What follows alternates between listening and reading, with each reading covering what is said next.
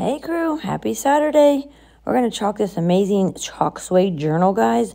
We're going to use our chalk suede um, notebook.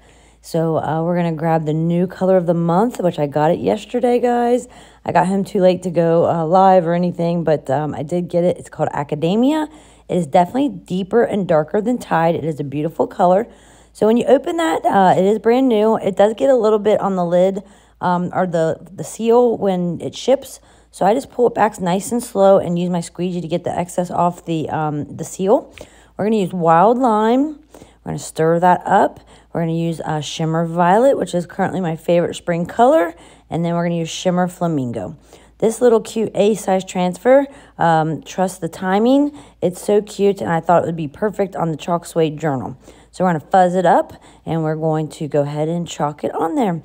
So we're going to line it up on our mat and we're going to put it down and push all the bubbles out and make sure there's um, no wrinkles in the transfer. This is a silk screen. Um, it is able to be reused 8 to 12 times.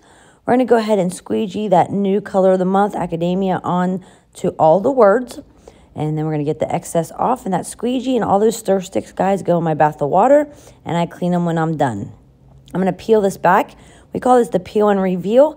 So we're going to peel it back. We're going to dry it so it doesn't dry on us. And then we're going to push what we haven't chalked back down. I'm going to start with the shimmers, guys, because they take longer to uh, dry. So we're going to do that shimmer violet on the little flowers. And then we're going to put some um, the shimmer violet in the middle of the bigger flowers and on the edges of the small. So we're going to do like a little bit of a ombre look on our flowers. So we're going to um, just go ahead and use that uh, multi-tool.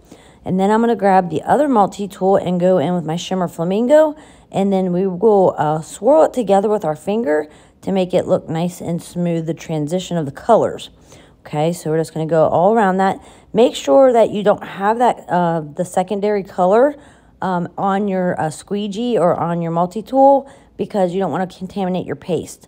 So if you see me, I'm going to keep wiping it off because it did get into the other color. We're going to take our little detail tool and go in with our wild lime to do the stems and the leaves.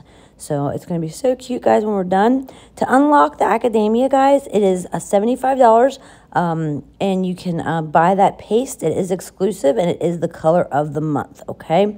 So that is my project for today. Hope you liked it. Have a wonderful Saturday, guys. Talk to you later. Bye-bye.